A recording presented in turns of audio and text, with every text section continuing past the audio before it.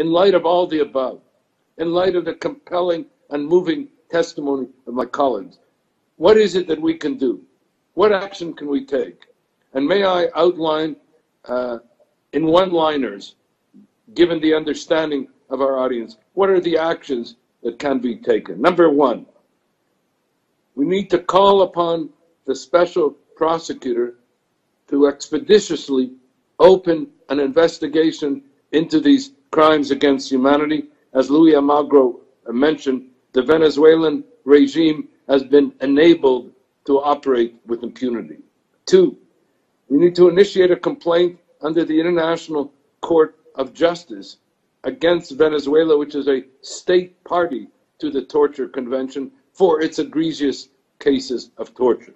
Number three, we need to initiate prosecutions on the basis of universal jurisdiction in our respective countries. Number four, we need to continue to make, and our Raoul Wallenberg Center for Human Rights has been making these representations to the working group on the disappeared, given, as I said, the dramatic increases in the disappeared as we meet.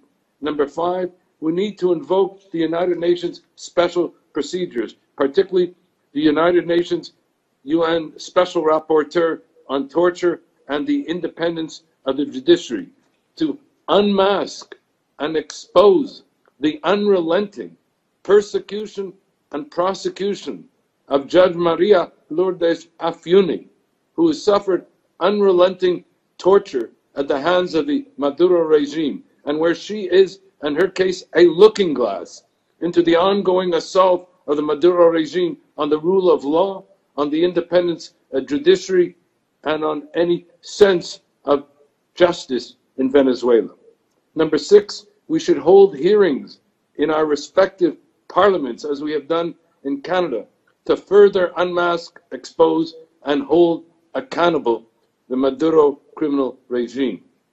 Number seven has been mentioned to support the petition for the suspension of Maduro's Venezuela from the UN Human Rights Council. Number eight, to enhance Magnitsky sanctions targeting the major human rights violators. And now that the European Union has adopted Magnitsky sanctions to intensify the use of this important resource for that purpose.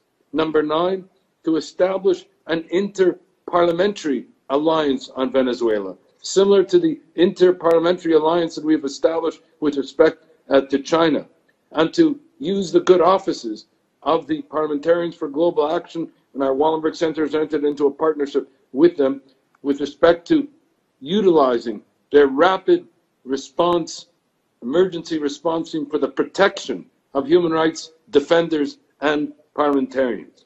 Number 10, and moving to a close, we need an intergovernmental alliance, an intergovernmental alliance of the democracies to combat the axis of repression involving Iran and Russia and China, which is buttressing the Maduro regime.